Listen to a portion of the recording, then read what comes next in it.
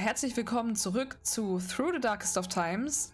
Wir sind hier mit unserer kleinen Widerstandsgruppe ähm, in Berlin unterwegs und versuchen eine große Aktion zu starten. Ich habe mich noch nicht entschieden, ob ich die oder die verfolge. Müssen wir erstmal ein bisschen gucken, wie sich die Sache hier entwickelt und was überhaupt möglich ist.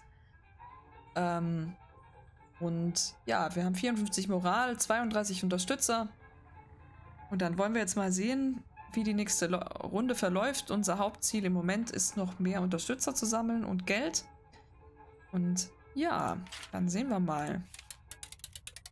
Wir haben zwei Unterstützer verloren, immer noch 30 Unterstützer. 9 Mark haben wir gespendet bekommen. Hm? Anna Schröder trifft sich mit einer Akademikerin aus Weißensee und versucht herauszufinden, ob sie bereit wäre, ähm, herauszufinden, äh, bereit wäre, mit uns zusammenzuarbeiten. Es stellt sich heraus, dass sie das Regime wegen seiner Irrationalität und Grausamkeit verachtet. Sie sagt, es gibt ähnlich Denkende in Weißen See. Anna denkt allerdings, dass sie gesehen wurde. Ich weiß nicht, was daran so verdächtig sein soll, ehrlich gesagt, wenn man sich mit einem jemanden trifft. In einer Bar in Lichtenberg trifft sich Heinrich Janschewitz mit einer Freundin und versucht vorsichtig herauszufinden, ob sie bereit wäre, uns zu helfen. Während des Abends wird klar, dass sie mehr als bereit sein würde, unsere Sache zu unterstützen. Sie will uns noch mehr Menschen vorstellen, die ebenfalls mitmachen wollen. Die beiden sammeln Spenden.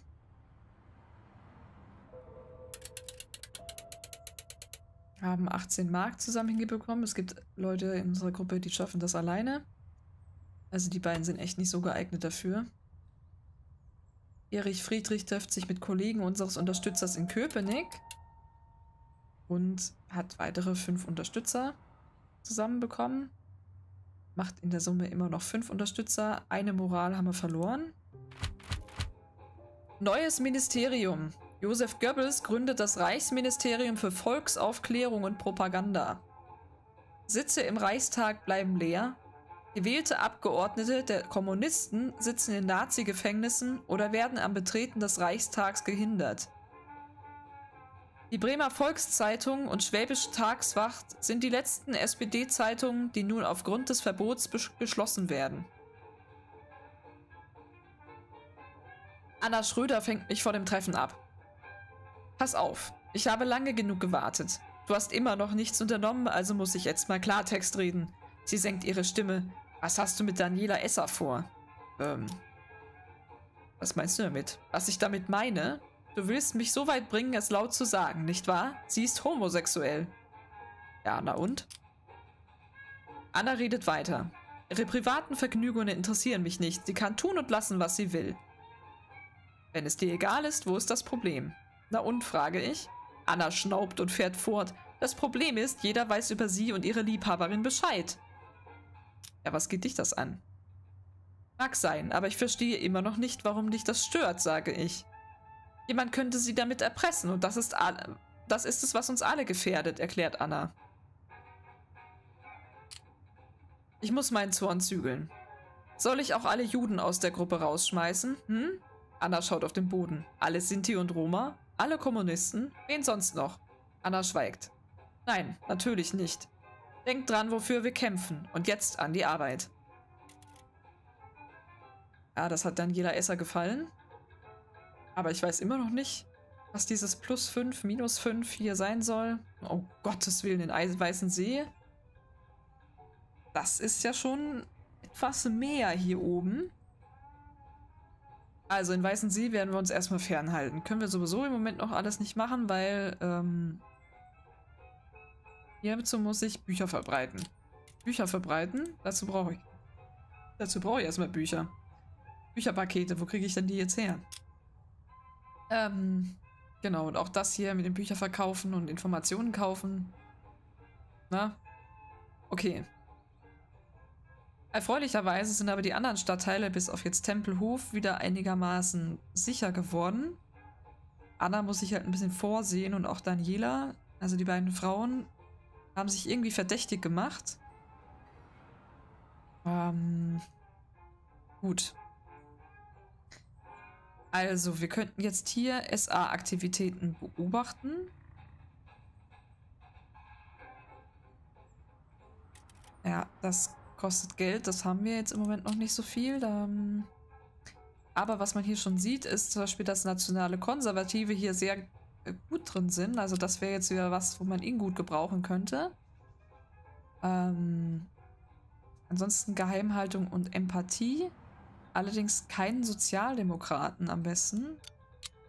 Sie ist halt, dadurch, dass sie ein bisschen Verfolgungsgrad hat, auch nicht so geeignet dafür. Und ansonsten habe ich ja eigentlich nur Sozialdemokraten drin. Das ist ja praktisch. Also eigentlich müssten die beiden das machen.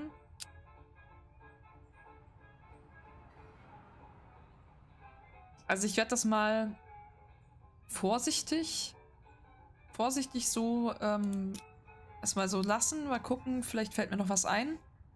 Parolen auf Mauern malen.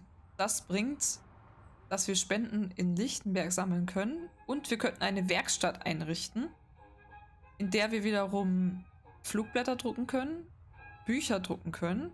Wäre also auch nicht blöd, wenn man hier Bücher verbreiten will. Kritische Flugblätter, das würde man dann hier auch machen. Dazu braucht man Informationen, sehe ich.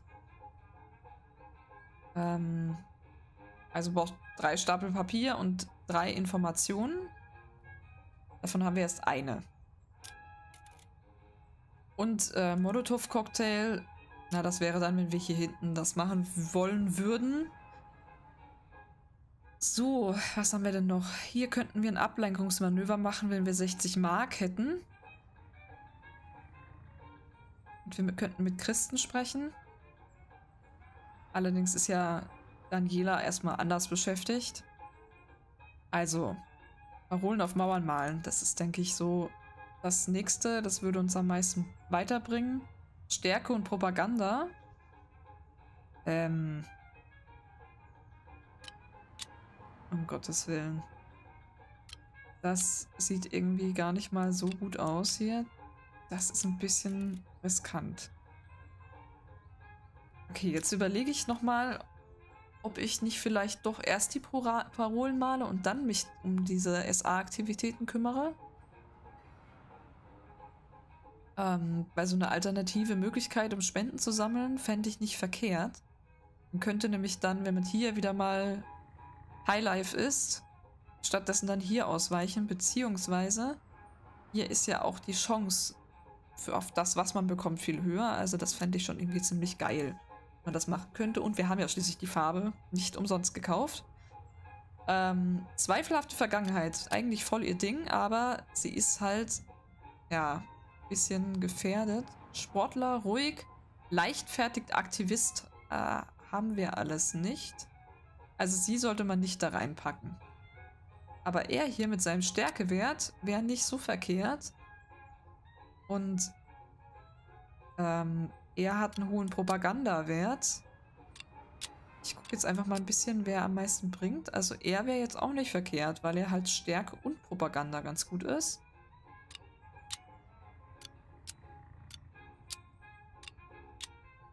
Wenn man denen das Fahrrad mitgibt. Ich meine, das ist schon fast eine Garantie, dass die entdeckt werden. Würde aber halt wirklich viele Unterstützer bringen. Ja, ich denke, wir müssen dieses Risiko eingehen. Unterdessen wird er weiter Spenden sammeln. Und Daniela könnte nochmal versuchen, mit Christen zu sprechen. Ähm, das ist besser als nichts. Und wir hoffen einfach, dass sie nicht nochmal entdeckt wird. Ansonsten müsste ich dann doch mal Leute ins Versteck schicken. Kann auch sein, dass wir das nächste Runde sowieso machen müssen, weil die Gefahr hier ja wirklich recht hoch ist. Gut, dann schauen wir mal, dass alles funktioniert. Mit unseren Parolen. Wir haben 10 Mark gespendet bekommen. Daniela trifft sich mit Christen. Und Sieben Unterstützer, sie wurde nicht gesehen. Sehr gut. Heinrich sammelt Geld. Und zwar 17 Mark, allerdings denkt er, dass er gesehen wurde. Hm, schade. Nachts malt Anna Schröder Parolen an die Mauern. in Lichtenberg. Es gab einen Zeugen. Ähm, deswegen wurden die jetzt auch alle gesehen. Da müssen wir natürlich aufpassen. Aber wir haben das durchgezogen. Wir haben viele Parolen hingeschrieben. Viele Leute haben das gesehen. Wir haben 16 Unterstützer. Also eigentlich war es ein Erfolg. Wir haben zwei Moral gewonnen und 21 Unterstützer. Tag von Potsdam. Die Eröffnungsfeier des neuen Reichstags fand in der Potsdamer Garnisonskirche statt und wurde vollständig im Radio übertragen. Die Feierlichkeiten wurden in Anwesenheit von Reichskanzler Hitler und Reichspräsident Hindenburg durchgeführt. Handelskrieg mit der Tschechoslowakei. Zwischen der Tsche Tschechoslowakei und Deutschland herrscht ein Handelskrieg. Berlin stellt den Zahlungs- und Reiseverkehr zwischen den beiden Nationen ein. Arbeitslager eröffnet. Die Nazis eröffnen in Dachau ein Lager zur Umerziehung politischer Gegner. Sie nennen es ein Konzentrationslager. Anna Schröder erzählt mir, dass sie schwanger ist. Ich kann so nicht weitermachen. Ich habe Angst um das Baby, sagt sie. Ich will die Gruppe verlassen. Tja, ich meine, bei jungen Frauen, das ist natürlich abzusehen, dass das irgendwann passiert. Schade. Aber ich würde sagen, wir lassen sie gehen. Sie wurde jetzt eh schon häufig gesehen, also haben wir damit eigentlich auch schon wieder ein anderes Problem gelöst. Ja, ich verstehe dich. Viel Glück für dich und das Kleine, sage ich. Danke, euch auch viel Glück, sagt sie und verlässt den Treffpunkt. Gibt 5 Moral, Anna Schröder bekommt plus 10 irgendwas. Tja, damit brauchen wir mal wieder einen neuen Unterstützer. Und man sieht, also in Lichtenberg ähm, ist die Sache jetzt auch schon wieder etwas angespannter. Aber wir haben neue Sachen, die wir machen können. Blöderweise haben wir jetzt aber keine Akademikerin mehr bei uns in der Gruppe, die sich um dieses hier kümmern könnte. Gut, also das erste, was wir sowieso machen, ist jetzt ein neues Mitglied zu rekrutieren. Geheimhaltung und Empathie ist hier besonders wichtig. Wir nehmen ihn mal mit. Und ihn. Die beiden zusammen sollten das eigentlich ganz gut hinbekommen. Ich, mit dem Fahrrad überlege ich mir das nochmal. Ähm. Ja, die sind beide nicht so gut im Geld sammeln. Ob ich jetzt diese Woche das einfach mal auslasse die einfach mal hier hinten hinschicke. Aber Gewerkschaftern haben dies jetzt auch nicht so, um ehrlich zu sein. Mit Akademikern, na, eigentlich auch nicht, ne? Okay. Hm. Wir können sie natürlich nochmal mit Christen sprechen lassen. Aber eigentlich, meine, mit den Unterstützern läuft es eigentlich gerade ganz gut. Oder ob man einfach die beiden mal hier hinschickt. Oh Mann, das Risiko, das ist ja jetzt wirklich enorm. Das würde ich mal besser sein lassen. Zumal hier ja auch einfach das Grundrisiko schon recht hoch ist. Ähm, tja, was machen wir denn mit denen?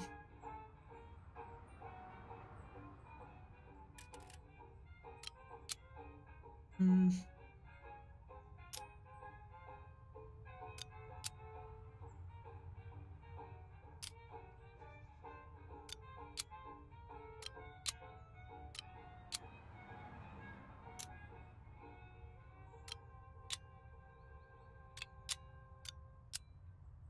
Hm. Also ich versuche einfach, dass die beiden hier mit dem Gewerkschafter sich treffen. In Reinickendorf. Hm. Oder nehmen wir doch den anderen. Ich meine, eigentlich ist es egal, oder?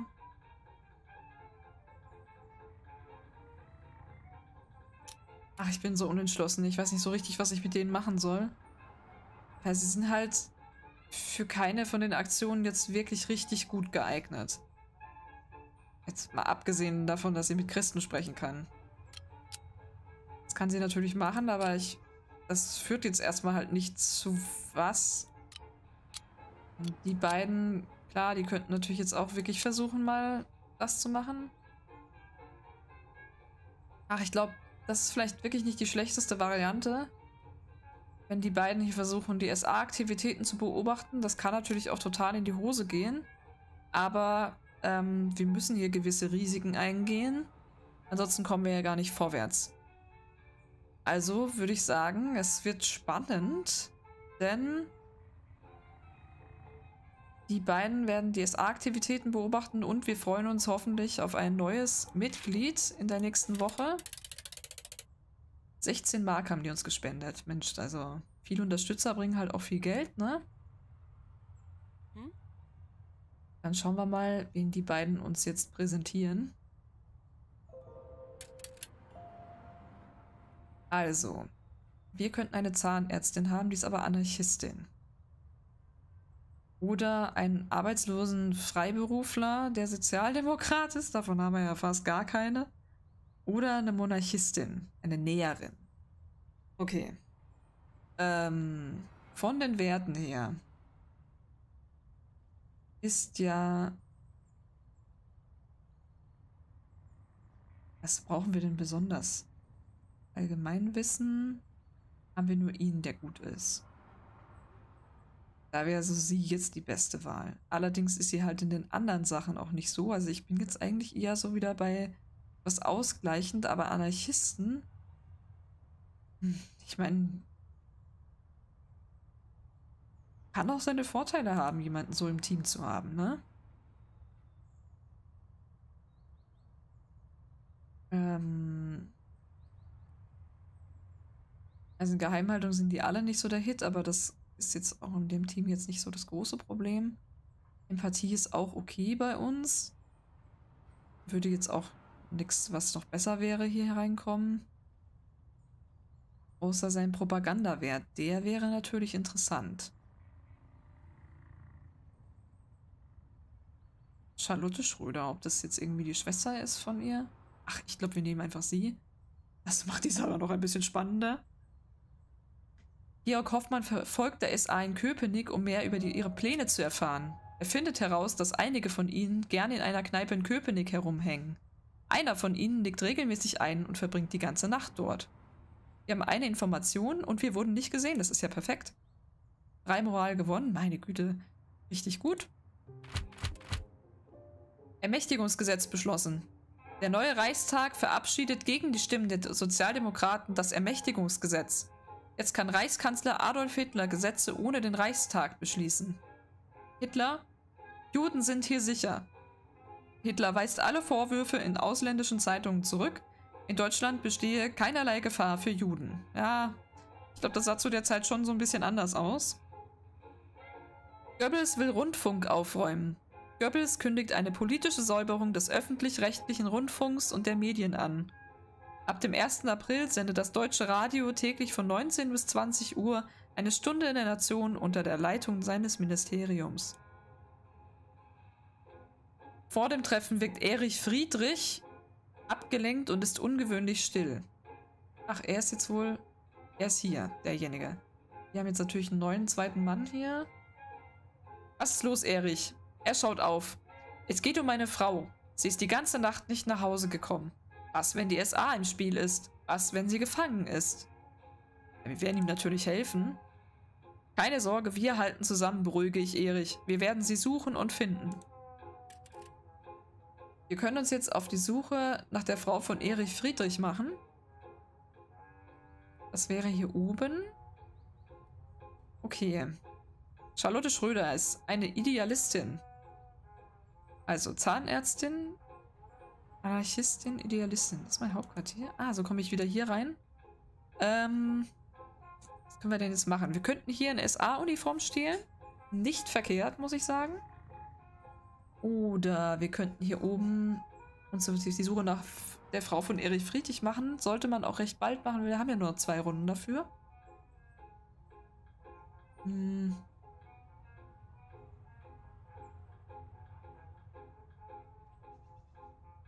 Okay, ich glaube, darum kümmern wir uns zuerst. Oh, das braucht, kostet auch 30 Mark, also gut, da muss dann gleich wieder jemand Spenden sammeln gehen. Geheimhaltung und Empathie brauchen wir. Da ist er der beste Mann für, aber er ist Sozialdemokrat. Hm.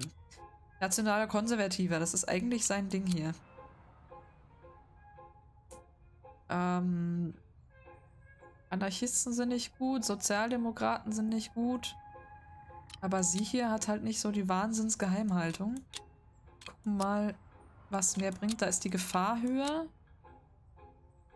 Dann nehmen vielleicht die einfach das Fahrrad mit und wir hoffen, dass sie was rausfinden. Und sie wird mit, sich mit der Akademikerin treffen. Das sollte absolut unproblematisch sein. Ja. Ähm. Da wäre sie als Anarchistin jetzt eigentlich auch nicht so verkehrt, aber er ist ja Sozialdemokrat, das sollte also auch problemlos funktionieren. Und er ist auch Sozialdemokrat. Kann ich ihn sich vielleicht einfach mit dem anderen treffen lassen hier? Nee, warte mal, ich brauche ja noch einen, der Geld sammelt. Ähm. Boah, das Risiko ist hier echt krass. Da würde ich sagen, wir machen das erstmal noch hier. Das, vielleicht hat sich das nächste Runde hier so weit entspannt, dass wir dann hier mal Spenden sammeln gehen können. Tja.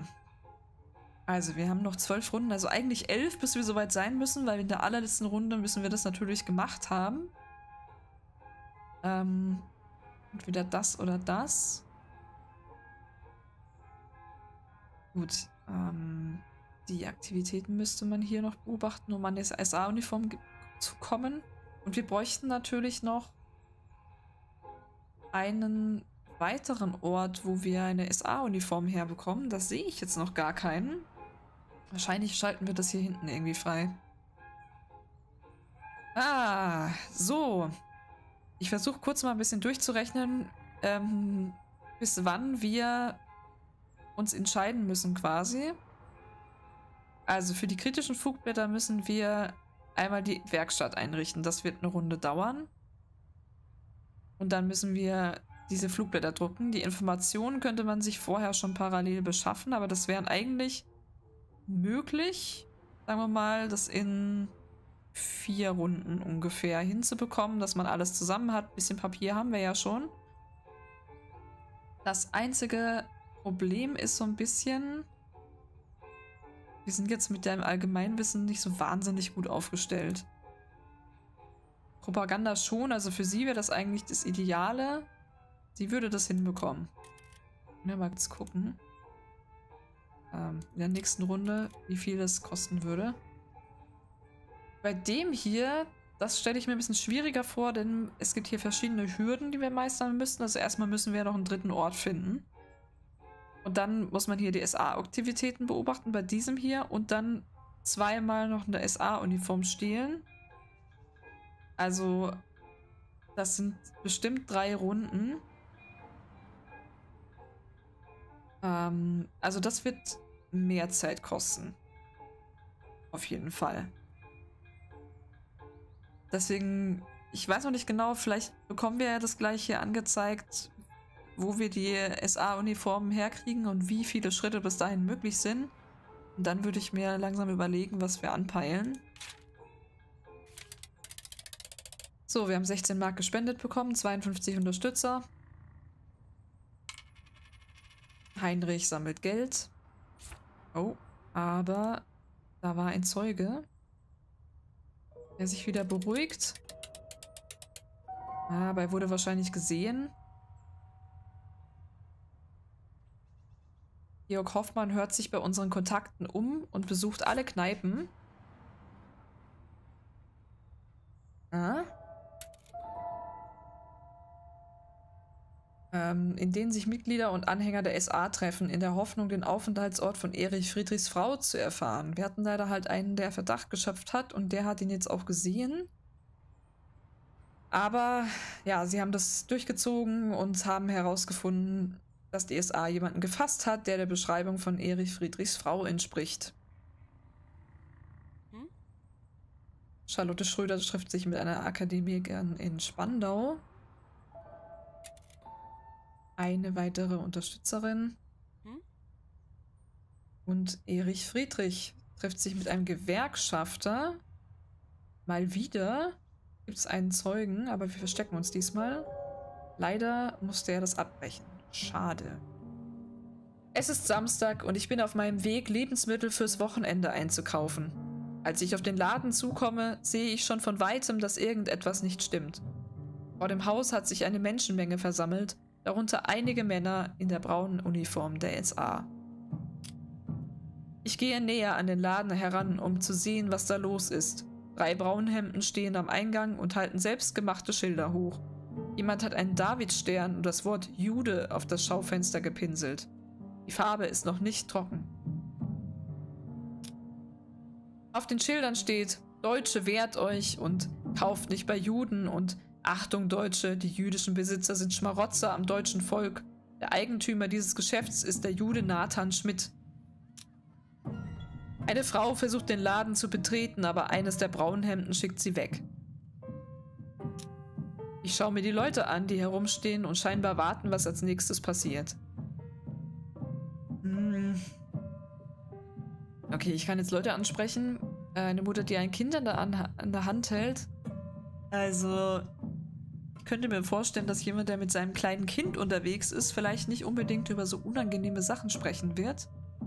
Ein Mann im Anzug oder eine ältere Frau. Können Sie mir sagen, worum es hier geht? frage ich einen gut gekleideten Mann, der wohl nicht aus diesem Stadtteil kommt. Psst, sagt er und sieht mich wütend an. Diesmal flüstere ich und frage erneut, was ist hier los? Warum blockieren die hier den Laden?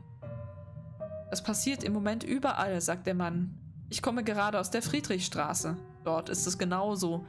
Die stehen vor allen jüdischen Geschäften und auch vor Ärzten und Anwälten.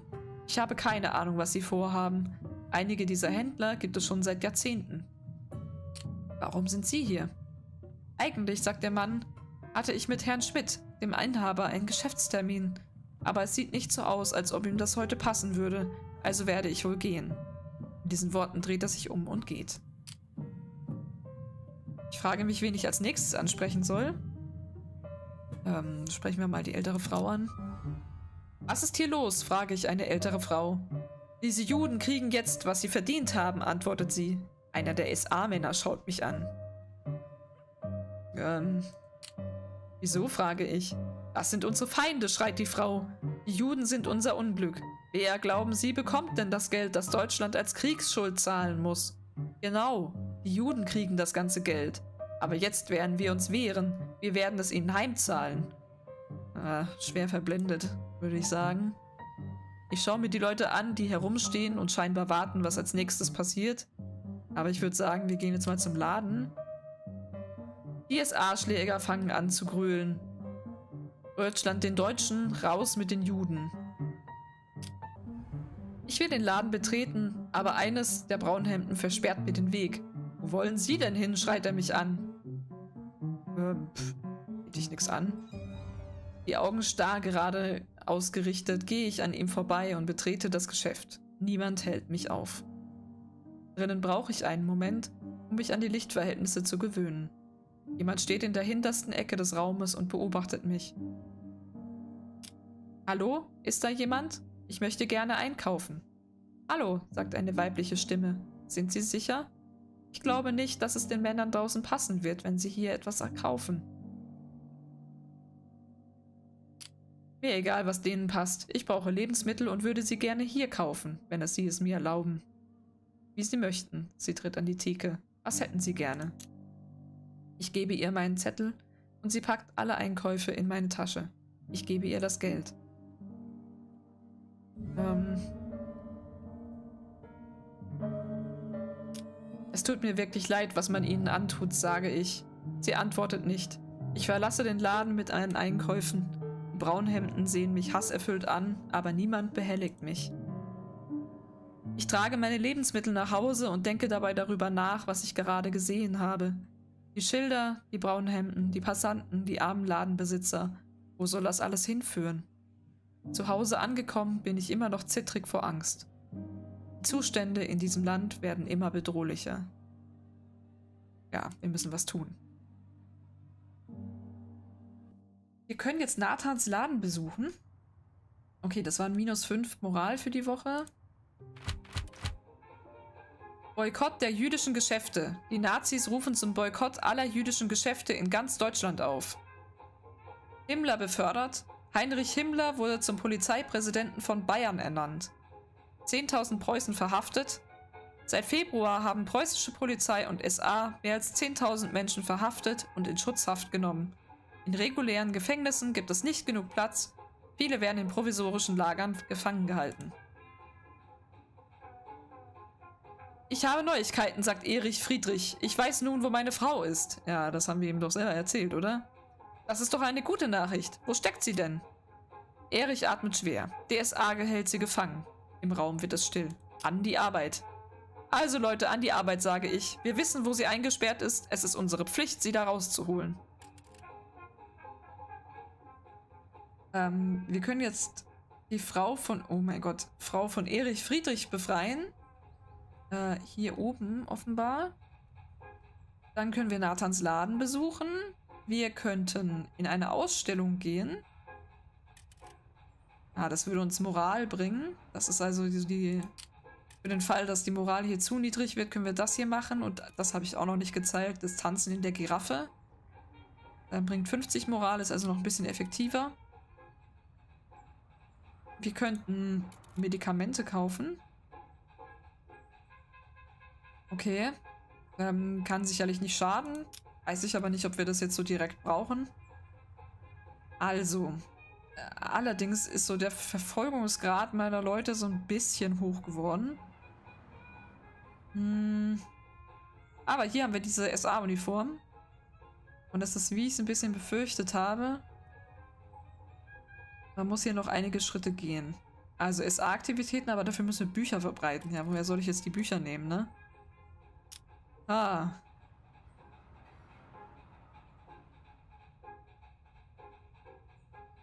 Hm. Also erstmal bräuchte ich Bücher dafür.